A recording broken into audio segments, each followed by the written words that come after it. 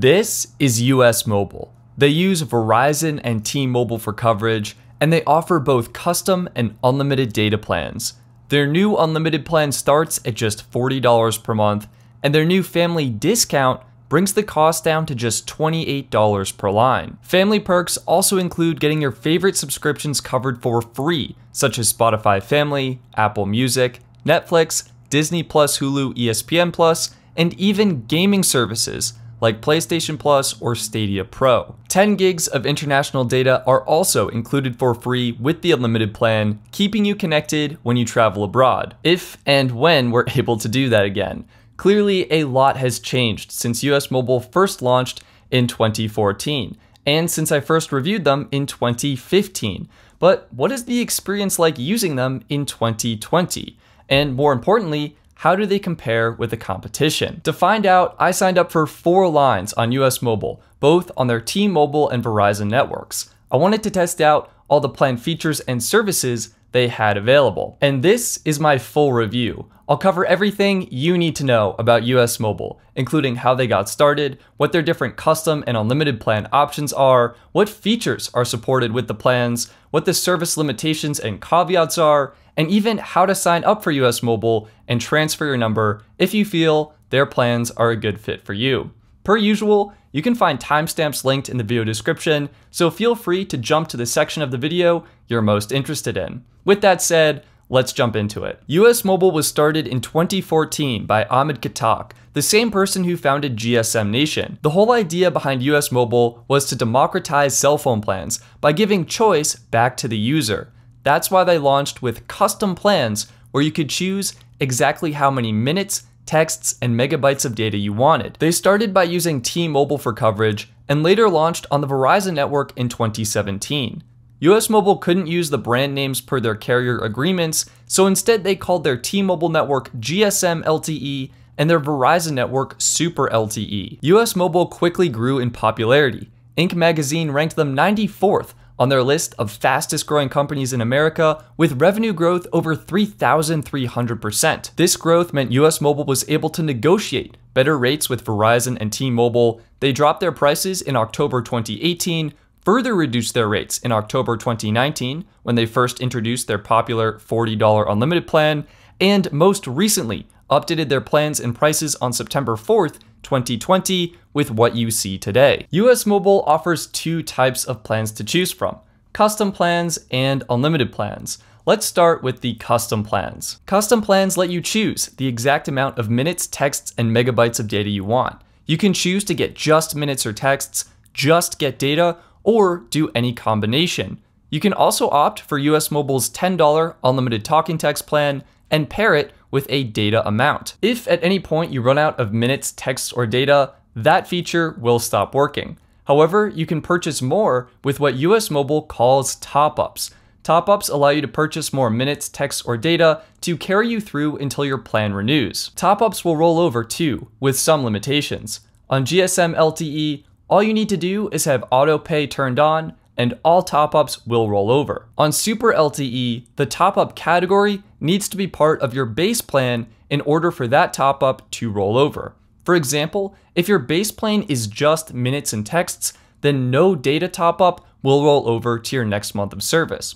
However, if your base plan includes a certain amount of data, let's say 50 megabytes, then any data top-up you purchase will roll over to your next billing cycle. Interestingly, top-ups are not taxed, so it may be to your advantage to select a base plan with just minutes on US Mobile GSM LTE and then add texting and data top-ups to build your plan at a slightly reduced price. Now, this is only for those who want to more actively manage their plan, but it is a interesting caveat. All custom plans include full speed LTE data, support for the mobile hotspot, and even 250 megabytes of international roaming data on eSIM compatible phones. The biggest downside to custom plans, in my opinion, is that you're not given any sort of notice or heads up when you're running out of minutes, text, or data. It can be frustrating having your messages be blocked mid conversation or having your phone automatically disconnect in the middle of a phone call. Thankfully, it is easy to monitor your data usage with the US Mobile application. You can clearly see how many minutes, text, and megabytes of data you have remaining,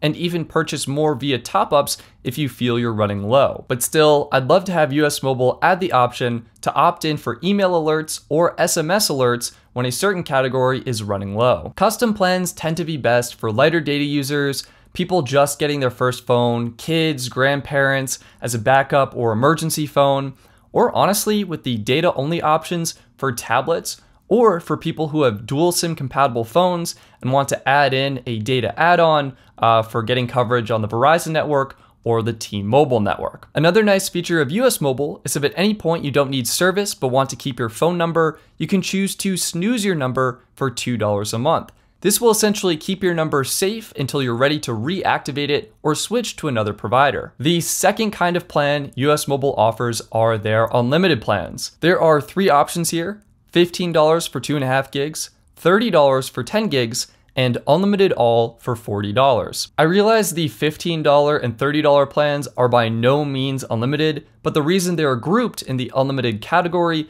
is they do include unlimited minutes and texts, which was an option that was previously not available with the custom plans. So that's why they're in the unlimited category. Anyway, these plans are competitively priced and they're geared to compete with the likes of T-Mobile's $15 Connect plan and Boost Mobile's $15 plans as well. These new plans were just introduced with the September 4th update, and honestly, I think they're great. I have both of my grandparents on the 2.5 gig plan for 15 bucks a month. They really like it because of the affordable price point and because they get Verizon coverage. The third plan is US Mobile's Unlimited All plan. And right up front, I want you to know this is not a true unlimited plan. On US Mobile's website, you can see it reads this plan includes 50 gigabytes of high speed data on Super LTE and only 15 gigabytes of high speed data on GSM LTE. Clearly, going with Super LTE is the better option here because you not only get the Verizon network for better coverage, but you're also getting significantly more data. There are three variations to US Mobile's Unlimited All plan. The base plan is $40 per month and includes 50 gigs of data at 5 megabits per second down and 2 megabits per second up. For $5 extra, you can upgrade to the Ludicrous Speed plan, which provides full speed LTE data. And for $10 extra or $50 a month, you can get the Ludicrous Speed upgrade plus 10 gigs of dedicated high-speed hotspot data. These plans naturally beg the question, how fast is 5 megabits per second, and is it fast enough for my data usage needs? I've been using this plan for about the past month, and honestly, it gets the job done. Content does load a little bit slower sometimes, but it works for everything. Music streaming, video streaming, gaming, social media, web browsing, it works great for all of those. I'll actually have a video out soon comparing the 5 megabit per second plan versus the ludicrous plan, so get subscribed to stay tuned for that. But for now, I would honestly say try the $40 plan with the 5 megabit per second speeds and see if it works for you. If it does, great. You'll save yourself $60 per year. And if not, no worries. You can easily upgrade to the full speed plan for just 5 bucks a month extra. And this brings us to US Mobile's new multi-line discounts. All variations of the unlimited all plan are eligible for this discount, and this is where things get exciting. The second line gets $10 off, and the third and fourth lines each get $20 off. This brings the total cost of four lines on the base unlimited all plan to just $110 per month, or $28 per line, which is a tremendous value. What's also great is this discount is applied automatically when you go to add a line to your account. So you literally can't miss this great deal. And the deal gets better too. When you have three or four lines of unlimited all, US Mobile will cover the cost of your favorite subscription services. With three lines, you can choose any one perk from one of the three categories music, video, or gaming. Then, when you add your fourth line, you can choose a second perk, but it has to be from a different category. So, if you choose video for your first perk, like Netflix, then your second perk can either be from music or gaming. To make things easy, instead of having to sign in through a special portal or link your accounts together, US Mobile will instead reimburse you for your chosen perk. All you need to do is make sure you have autopay enabled for all your eligible lines, and then you email verifications at usmobile.com. You put the name of the subscription service and your phone number in the subject line, and then you attach the receipt of your service that shows a billing period for the current month date in the email. And that's it. When I emailed support, I heard back within 30 minutes that my subscription had been verified and the credit would be applied to my account when my plan auto renewed. The benefits to this method is US Mobile is able to offer a wider selection of perks to choose from. And because there's no linking accounts together, if you were to cancel your US Mobile service, your subscription service would not be affected. And because it's a reimbursement method, you also have the flexibility to change which perk you want. If you wanted to, you could actually sign up for a new perk each month and US Mobile would reimburse you for that service. The one downside to this plan is yes, you do need to email US Mobile each month with your receipt and get verified so you can get that discount credited to your account. But otherwise, I honestly feel this is a great way for US Mobile to add value to their plans. All right, now that we've discussed all of US Mobile's plans, let's dive into what features these plans include. And the best way to do this, I think, is with a quick comparison chart, so let's take a look. On the GSM LTE side of things, the feature set is pretty much the same between iPhone and Android.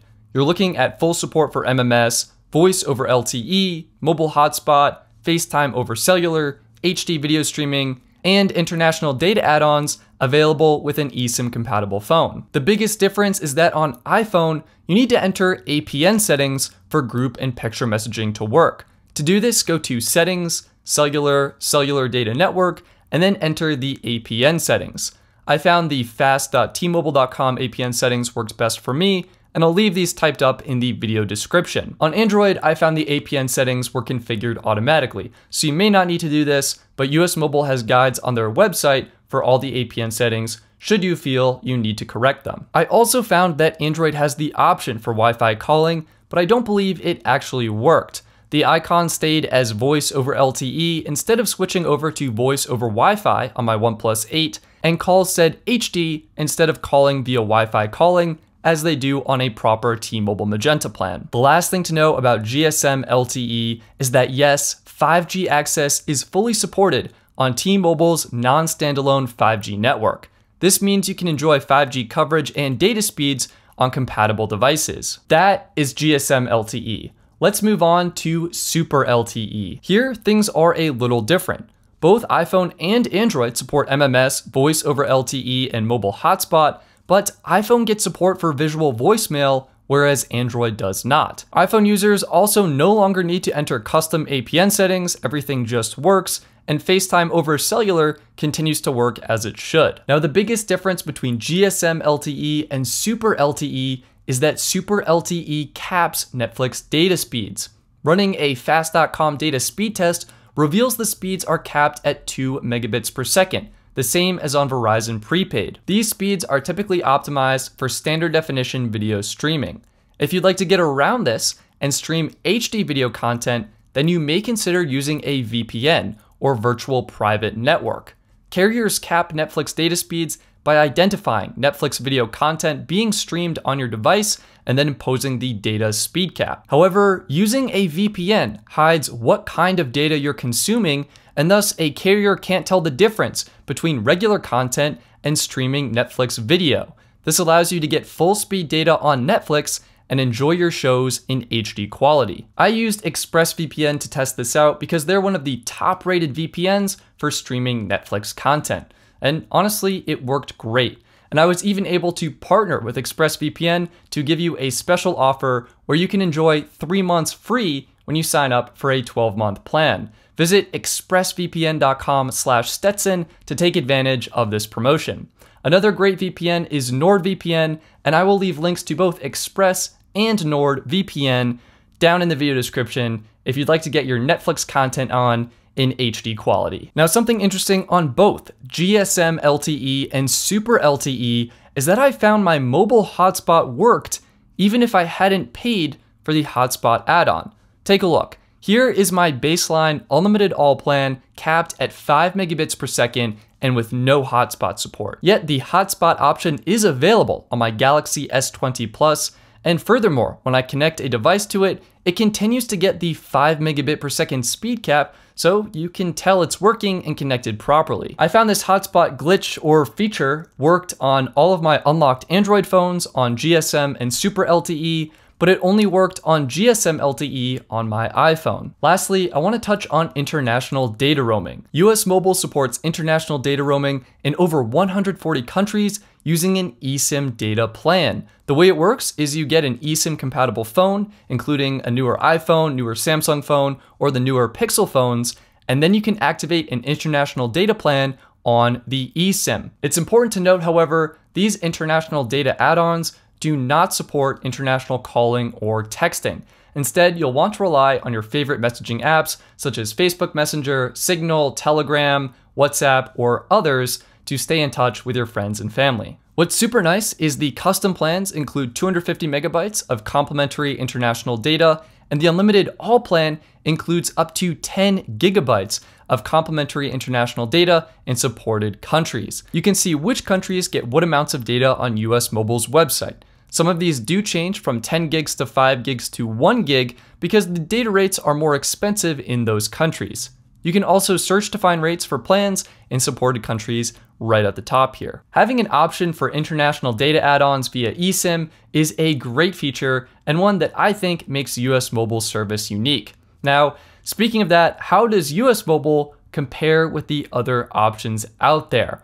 To do an accurate comparison, I think we need to talk about price. From my experience, US Mobile adds about 2 to $5 per line to the cost of their plans with their $2 service fee and with additional taxes and fees. Now, I do appreciate that US Mobile has updated their website to be more transparent about these fees, but they are something to keep in mind. So, with that said, and factoring in all these taxes and fees, let's compare US Mobile with the competition. On the GSM LTE side of things, I honestly don't feel US Mobile is worth it. T-Mobile Connect delivers great value if you're looking for a monthly option, and Mint Mobile's bulk pricing model simply can't be beat.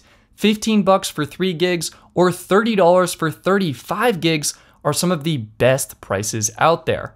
Plus, Mint supports more features such as Wi-Fi calling and even the option for international calling and texting. On the Super LTE side of things, however, I think US Mobile delivers a tremendous value.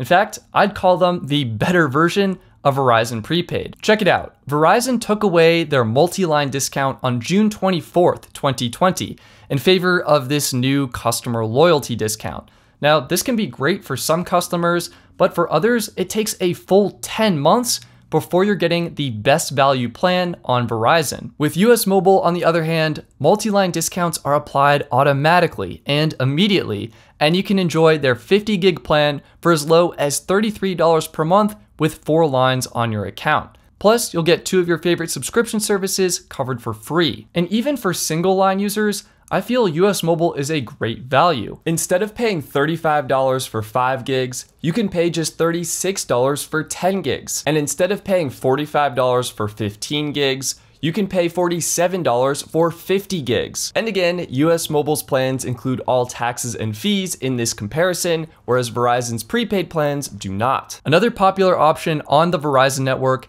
is Visible's $40 unlimited plan. Visible has hands down the better pricing, but their network technology means their service will only work with select compatible phones. And many online users have reported that Visible has higher pings, leading to increased latency in your connection. US Mobile will likely have lower pings than Visible, and more importantly, US Mobile will work with all Verizon compatible phones. US Mobile also includes the international data roaming via eSIM, whereas Visible currently lacks any international data options at all. So that is US Mobile. Ultimately, I think they're a better version of Verizon Prepaid with their multi-line discounts, their available perks, the service features and add-ons that are available, the international eSIM plans, and with what they have coming next. US Mobile has teased 5G plans coming soon, and they've also previewed an autopilot AI plan that will automatically analyze your usage to configure the best plan for your needs. And they also recently rebuilt their support system from the ground up to help deliver you a better customer support experience. US Mobile is basically a tech company that happens to be operating in the MVNO space.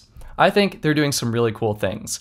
I enjoyed my experience using their network, and honestly, I think you will too. If you're interested in signing up for US Mobile, you can check out my full sign up and activation guide here, and be sure to use code FREESIM to get a free US Mobile SIM card shipped to your address. So what do you think of US Mobile? Let me know with a comment down below. Also feel free to leave any questions down there and I'll try and answer them as best I can. Please give this video a thumbs up if you found it helpful. I spent a lot of time on it and get subscribed for more videos like this one.